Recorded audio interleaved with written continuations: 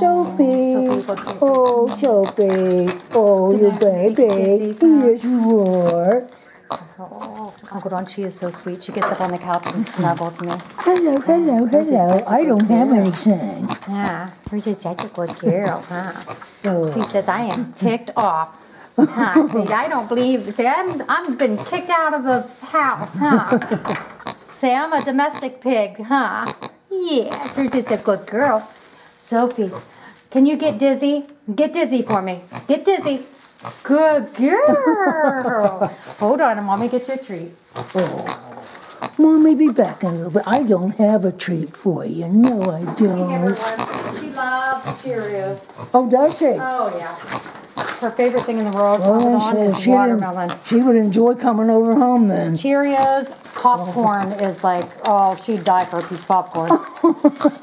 No, they can't have butter or salt on it, but Oh, yeah. Oh, these my baby girls. Mm, she's a baby girl. Can you sit pretty? Sit down. Nope, sit.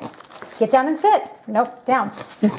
sit. Sit for mommy. Okay, now sit. Sit. Good girl. Good girl. Can you get up pretty for me now? Get, get down, down. So, look at mommy. Up pretty. No, get up pretty. Come here. Get up pretty. Come on. Come on. Come on, you can do it. Come on. She's scared. Oh, okay. Okay, so she's a good girl, huh? Is she my good girl? I know. I know. I promise I'm going to bring you home something special tonight. Yes, I will, huh?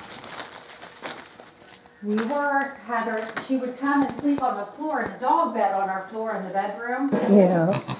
Every night at five, or every morning at five in the morning, she would wake up and was grown fit to come out here. What? Oh, what? Oh, you pretty. I don't have anything for you. Oh, look. Oh, my goodness. Oh, my goodness. Yes, you're pretty. Hi, Sophie girl. You're such a good girl, huh?